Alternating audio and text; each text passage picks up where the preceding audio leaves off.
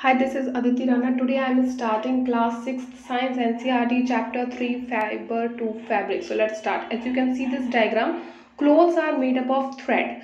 कपड़े बने होते हैं धागों से उन धागों को कहा जाता है yarn and these yarn are further made up of fibres और ये धागे किससे बने होते हैं ये भी पतले पतले महीन रेशो से बने होते हैं इसे और क्लियरली समझेंगे with the help of brush so let's start see ये आपका क्लोथ है, आपकी कोई कॉटन शर्ट है तो क्या किया आपने? इसमें से एक धागा निकाल लिया, खींचा यहाँ से तो एक धागा निकल आया।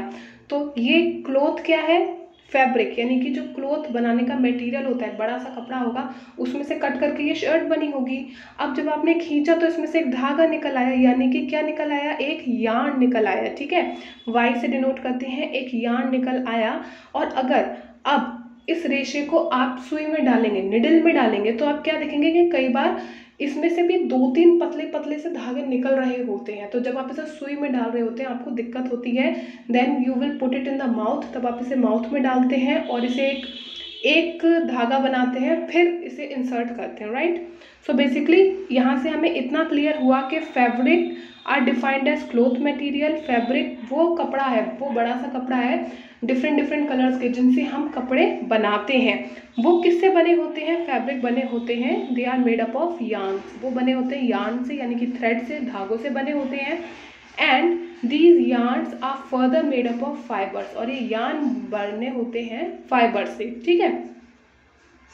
ना we will study in detail see by definition yarn क्या है? लॉन्ग ट्विस्टेड एक लंबा सा, घूमा हुआ सा ट्विस्टेड कंटिन्यूस स्ट्रेन यानी कि एक धागा जिसमें जॉइंट नहीं है, वो लंबा है, लगातार लंबा है, ठीक है? And compose of interlocked fibres यानी कि इस तरीके से। इंटरलॉक्ड इस तरीके से जैसे एक गर्ल की चोटी होती है, उसी तरह से इंटरलॉक्ड फाइबर की तरह ये यार्न बने होते हैं, ठीक है? अब टाइप्स की बात करते हैं फाइबर्स जो हमें नेचर से मिलते हैं या ये मैन मेड होते हैं, ठीक है? Fibres can be natural fibres that are obtain from nature for example इनकी सोर्स होती है प्लांट्स या एनिमल अगर हम बात करें प्लांट्स तो हमें प्लांट से जो फाइबर्स मिलते हैं, वो हैं आपके cotton and jute they are obtain from plants but when we talk about animals animal से हमें कौन से नेचुरल फाइबर्स मिलते हैं? दैट इज़ वूल जो हमें शीप या गोड से मिलता है, या फिर सिल्क जो हमें मिलता है from the cocoon of silk wool okay next हम बात करेंगे सिंथेटिक फाइबर यानी कि वो फाइबर जो मैन मेड है। For example polyester nylon acrylic ये क्या है? ये सिंथेटिक फाइबर है। अब अगर हम बात करें सेमी सिंथेटिक जिनकी आधी क्वालिटी होती है नेचुरल फाइबर्स की और आधी क्वालिटी जिनमें होती हैं सिंथेटिक फाइबर्स की, वो है, उसका एक एग्ज़ाम्पल है rayon now we will talk about advantages of natural fibre natural fibre की एडवांटेज क्या है? क्या उसका यूज़ है? क्यों हम उन्हें अभी भी पहनने के लिए इस्तेमाल करते हैं। Firstly they keep our body warm जो वूल के बने कपड़े होते हैं, ये हमारी बॉडी को गर्म रखते हैं सर्दियों में। Next in summer sweat can pass through cotton clothes अगर गर्मियाँ चल रही हैं तो आप कॉटन क्लोथ्स पहने, उससे बढ़िया कुछ नहीं है, क्योंकि उससे क्या होता है, पसीना बाहर निकलता है। जबकि अगर आप सिंथेटिक कपड़े पहनेंगे तो पसीना अंदर ही रहता है और आपको रैशेज हो जाते हैं, ठीक है? Note flax is also a plant that gives natural fibres flax एक ऐसा प्लांट है जो कि नेचुरल फाइबर देता है. Now we will study about advantages of synthetic fibre क्या एडवांटेजेस हैं? सिंथेटिक फाइबर्स की। दे आर स्ट्रॉन्ग ये बहुत स्ट्रॉन्ग होते हैं रिंकल फ्री होते हैं, यानी कि इन पर रिंकल नहीं पड़ते हैं। कई बार होता है ना, कपड़े धोते हैं तो छोटे छोटे रोए निकल आते हैं, वो इनके साथ नहीं होता है। They are not attacked by moths and moulds ये इंसेक्ट इन्हें अटैक भी नहीं करते खाने के लिए। They are easy to wash and maintain इन्हें मेंटेन करना, इन्हें धोना बहुत ही आसान है। दे ड्राई अप क्विकली ये जल्दी सूख भी जाते हैं। Next we will talk about cotton which is a natural fibre अब हम कॉटन के बारे में डिटेल में पढ़ेंगे, जो कि एक नेचुरल फाइबर है। Cotton it is use in making wicks for oil lamp oil lamp यानी कि दियो के लिए, बाती बनाने के लिए कॉटन का इस्तेमाल किया जाता है। Secondly it is use in filling mattresses quilts और पिलोज इन्हें मैट्रेसेस यानी कि गद्दों में भरने के लिए इस्तेमाल किया जाता है, रजाइयों में भरने के लिए इस्तेमाल किया जाता है और तखियों में भरने के लिए रुई का इस्तेमाल किया जाता है। Cotton plants grow in warm climate गर्म ज़मीन पे, यानी कि ऐसी जगह जहाँ पे बहुत गर्मी होती है, वहाँ पे कॉटन उगाई जाती है, वहाँ पे उगती है एंड इन ब्लैक सॉइल जहाँ पे काली मिट्टी होती है, वहाँ पे उगती है। Cotton plant fruit is called cotton bolls cotton plant cotton plant जो है, जो उसका फ्रूट पार्ट होता है, उसी को कहते हैं कॉटन बोल्स और after maturation cotton bolls burst open जब मैच्योर हो जाती हैं तो जो कॉटन बोल्स हैं, ये क्या कहती हैं? बर्स्ट हो जाती हैं. ये फट जाती हैं, नीचे आपका गिर जाती है कॉटन और इसे हैंड पिक्ड किया जाता है, यानी कि हाथों से इसे उठाया जाता है. Then there is a process called ginning. Ginning क्या होता है? See this image ginning of cotton means removing seed by combing. कंगी करके सीड्स को कॉटन से रिमूव करना ही आपकी प्रोसेस है ginning.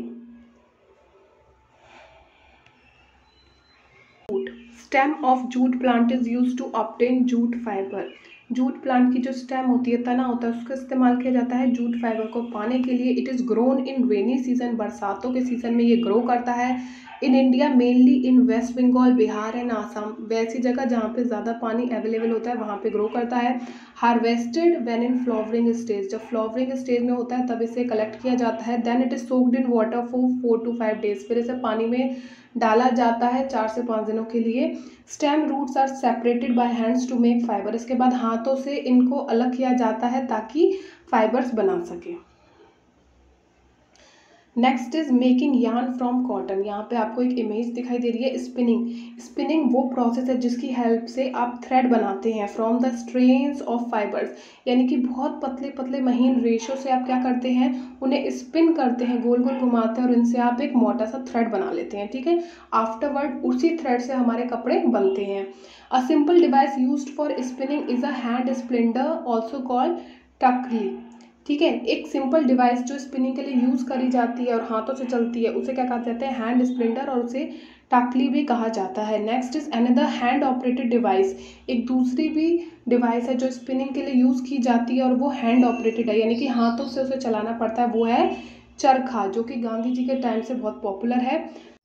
Now see here two main process by which fabrics are made from yarn ऐसी दो मेन प्रोसेस हैं जिनकी हेल्प से हम फैब्रिक यानी कि क्लोथ मटेरियल बना सकते हैं फ्रॉम द यान यानी कि थ्रेड में से हम क्लोथ मटेरियल बना सकते हैं। ऐसी कौन सी दो प्रोसेस हैं? One is knitting and other one is weaving पहली है निटिंग दूसरी है वीविंग निटिंग में क्या होता है? एक सिंगल यान यानी कि एक ही टाइप का धागा होता है, उसी से हम पूरा फैब्रिक यानी कि पूरा क्लोथ मटेरियल बनाते हैं. As you can see in this image यहाँ पे क्या हो रहा है? एक ही टाइप का यान है और उसी से पूरा फैब्रिक तैयार किया जा रहा है. Second one is weaving weaving वो प्रोसेस है जिसमें two set of yarn are arrange together to make a fabric इसमें दो तरह के धागों को अरेंज किया जाता है कोई भी क्लॉथ मटेरियल बनाने के लिए. As you can see here यहाँ पे एक रेड है और एक ग्रीन है। इन दो तरह के धागों को लिया गया है किसी कपड़े को बनाने के लिए।